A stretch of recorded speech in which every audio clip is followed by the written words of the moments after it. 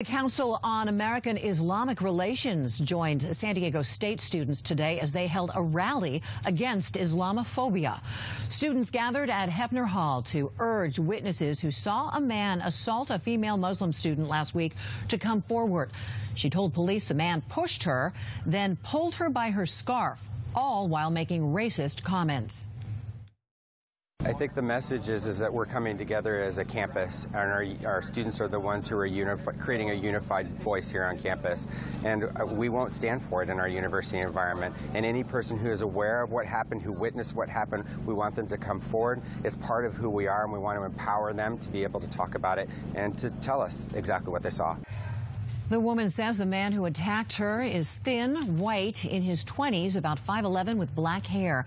Campus police are investigating this as a possible hate crime case.